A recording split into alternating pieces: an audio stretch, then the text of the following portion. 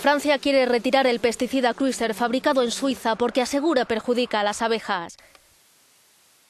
El Ministerio francés de Agricultura pedirá también a la Comisión Europea que se plantee la prohibición de su principio activo. Esta decisión cuenta ya con el apoyo de instituciones oficiales galas. Estas abejas están desorientadas, al final se pierden en el medio ambiente, están destinadas a desaparecer, a morir, ya que no pueden vivir solas fuera de la colonia. Cruiser es el producto que muchos agricultores utilizan en la siembra de la colza, de cuyas semillas se extrae el aceite.